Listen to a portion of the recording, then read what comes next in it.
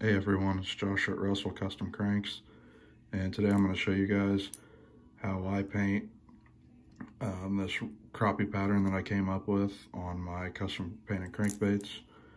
Um, the colors you'll need are opaque white, pearl silver, pearl satin gold, pearl green, pearl blue, and opaque black.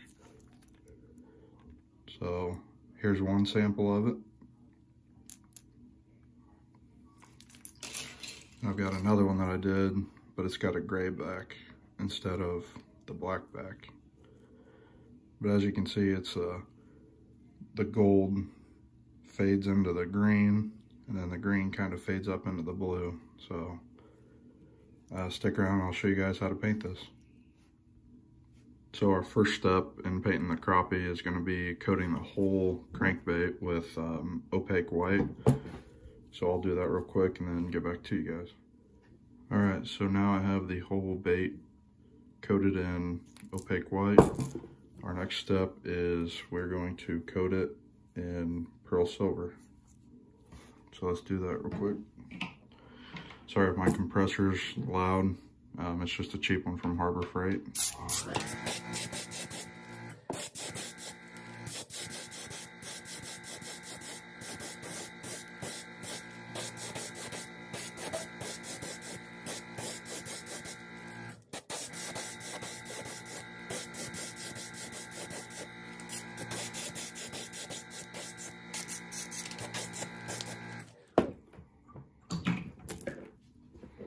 All right, so once you get that down, uh, we'll go ahead and heat set that. And all that's doing is gonna create, um, you know, like a shimmer behind the colors we're getting ready to lay down. And you can kind of see it, that pearl. So our next color we're gonna do is um, pearlized pearl satin gold. And this is gonna only go on the lower half and towards the belly of the bait. So I will show you guys that next. Okay, so I have the uh, pearl satin gold um, in the airbrush. And like I said, we are going to just, see there's a line in the crankbait. Pretty much that line down.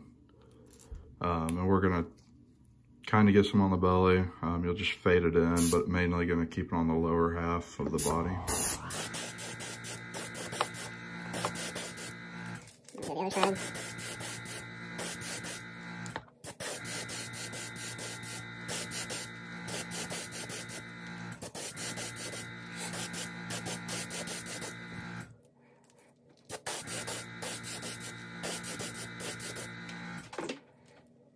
All right, so now that that's done, we will heat set the gold. And then our next color we're going to spray is pearl green. I'll show you guys that. We now have half of the crankbait body gold, the lower half as you can see. And now, like I said, we're gonna take uh, pearl green and go about I don't know, an inch, half inch above where um, that line is on the crankbait. So I'll show you guys that. And you're gonna wanna fade it down into the gold.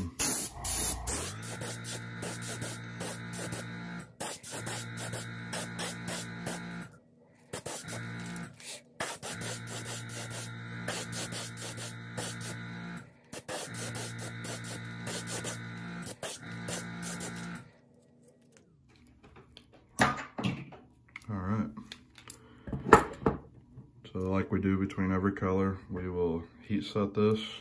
And then our next color we're gonna spray is pearl blue. So we have our green done, our pearl green laid down. Um, the next we're gonna do is our pearl blue. And this is gonna go on the very shoulder um, and a little bit on the top, but it's the key is fading it into the green. So I'll show you guys that.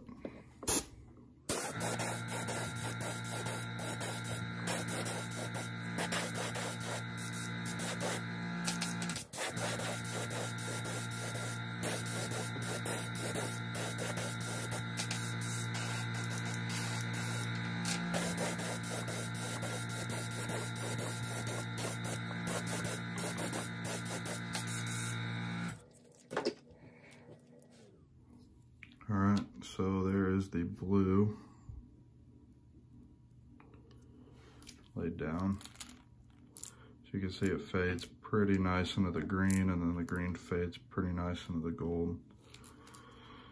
So we will heat set this blue and then we are going to um, paint the pattern which is this. This is a like floral ribbon from Hobby Lobby. Um, we'll wrap the bait with this and then use the opaque black to show the pattern. So I will heat set this and be back. All right, so we've got our floral ribbon as our pattern on here. And I've got black loaded in the gun. Um, we're gonna go pretty heavy on the top of the bait where we put the blue um, closer to the clips. And then we're gonna kind of fade it. You know, it's gonna get lighter as you go down the body. So I'll show you guys that.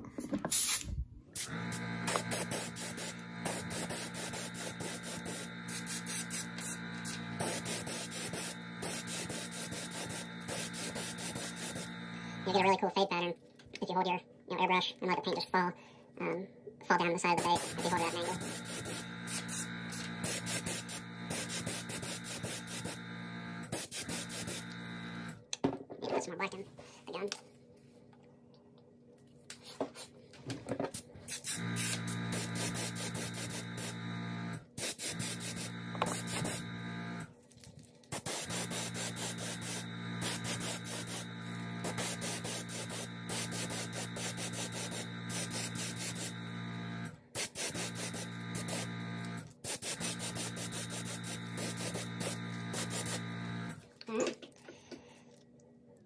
So it looks like we covered a lot, you know, the bait with a lot of black, but if you tilt it on its side, you can start seeing, you know, the underlying effect from using this um, ribbon. Same on this side. So um, we'll heat set this. You want to definitely heat set this before you try to take your um, ribbon off and the clamps, because if not, it'll probably scratch the you know, non-dry uh, paint. So let's heat set it and I'll show you guys the effect it made. All right, it has been heat set. So let's take this ribbon off.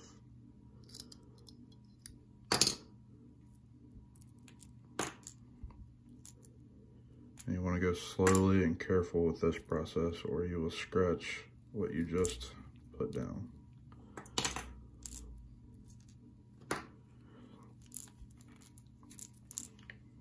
And there we go.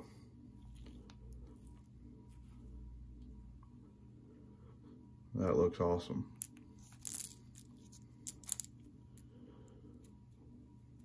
So what we'll do now is put the bait back in the helping hands. And we're gonna clean up the top just by putting a uh, you know, strip of black on the back. Kind of fade it down into blue. But it is looking pretty good. All right, so now let's put the black on the back and then we're gonna touch up around the eyes uh, with black also. So we'll do that.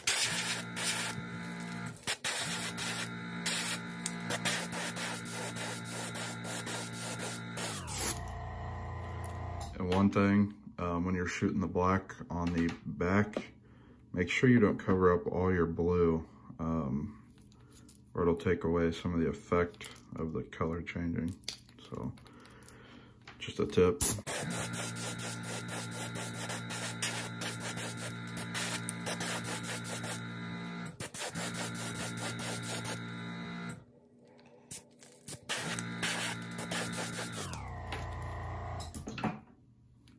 All right. So the back is done. See how I kind of left some of that blue.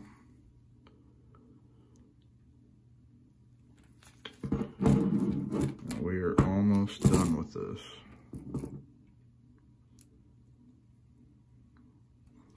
Got a little nick on the gill there, but we'll touch that up with some black. So, all right, now it is time to cover up some of the overspray with some white on the belly, and then we'll put some gold eyes on. All right, everyone. So off camera, I uh, sprayed the belly white, get rid of some of the overspray. Um, I painted the gills black. I think it just looks a little better. And then I added some gold eyes. Um, so let me know what you guys think about this um, paint job. Um, I think it looks quite like a crappie. Uh, I'm from Indiana and I actually was, when I was coming up with this, I was using a reference photo of a crappie and it was pretty spot on when you compare them side, side, side by side. So I may try to include that in this video, but I'm not very tech savvy, so we'll see. But definitely let me know what you guys think about this, um, this pattern that I made. As you can see, the silver fades into the gold, that fades into the green, that fades into the blue, that fades into the black. So I think it's a pretty sweet pattern. Should work pretty well. So thank you guys for watching. Um, if you'd like, check out my Facebook and Instagram page at Russell Custom Cranks. Um, I'll try to leave a link in the description, but you can find it on Facebook and Instagram. So,